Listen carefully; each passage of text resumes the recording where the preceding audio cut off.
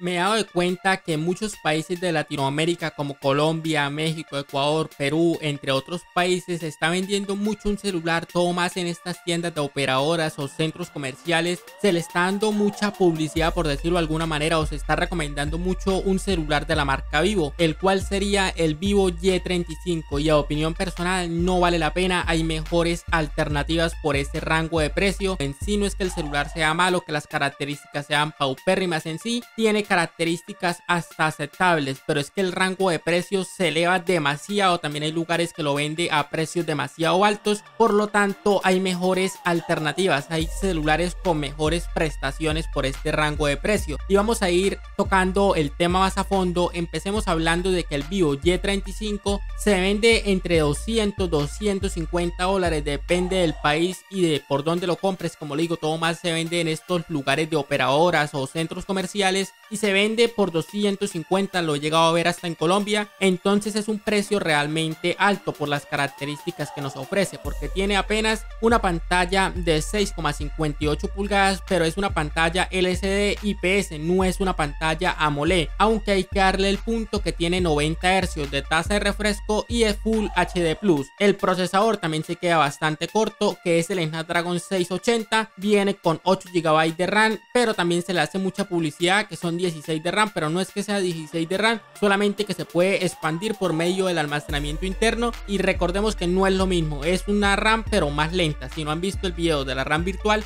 por acá en una etiqueta se los estaré dejando. Otro punto positivo que sí le haría, porque a mí me gusta ser sincero con ustedes, es que su almacenamiento interno está bien, 256 y se puede expandir por medio de la micro SD. Pero así como les digo sus puntos buenos, les digo sus puntos malos y es que sus cámaras traseras no me llaman tanto la atención, toma fotos muy malas. Por ejemplo, la cámara trasera es de 50 megapíxeles, apertura focal 1.8, no se dejen llevar por el número de megapíxeles. Recordemos que eso no hace que la foto sea buena o mala, en sí es el sensor y personalmente siento que el sensor pues no toma tan buenas fotos, más cuando ya empieza a hacer noche, así haya buena iluminación, las fotos se ven bastante borrosas, también le hace falta un gran angular, tiene dos cámaras más, pero son de bokeh y de macro, que a mí me gusta llamarlas cámaras de relleno para que el celular sea bonito y ya, porque prácticamente no sirven para nada. La cámara frontal 16 megapíxeles, apertura focal 2.0, digamos que es aceptable, pero un punto que sí es bueno y se la voy a dar al vivo Y35 es que tiene una batería de 5000 mAh y carga rápida hasta los 44 vatios que vas a cargar tu celular extremadamente rápido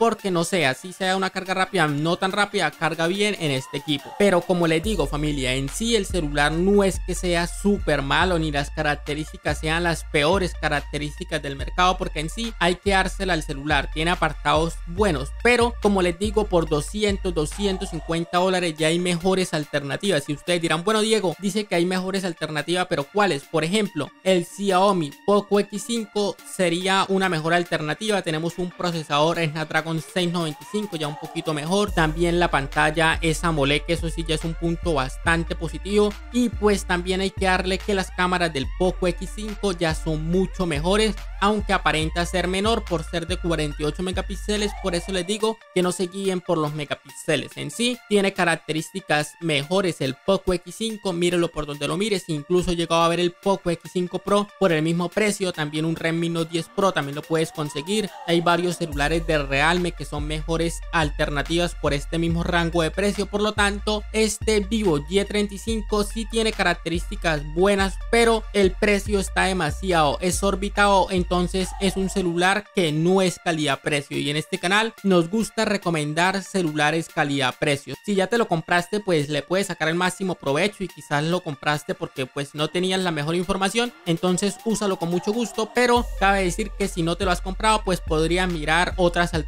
pero si todos modos te lo quieres comprar, adelante, como siempre digo, cada quien con su dinero se compra lo que quiere y tampoco es que el celular le vaya a salir malo. Incluso yo soy muy fan, por decirlo de alguna manera, de la marca Vivo. Me gusta el trabajo que está haciendo, su diseño me parece muy bonito y también se la voy a dar, este diseño me llama bastante la atención, pero lastimosamente el precio sí está elevado. Familia, quisiera saber todas tus opiniones acá abajo en los comentarios. Deja tu like, te suscribes y nos vemos en otra ocasión. Familia de Analista T. Chao, chao.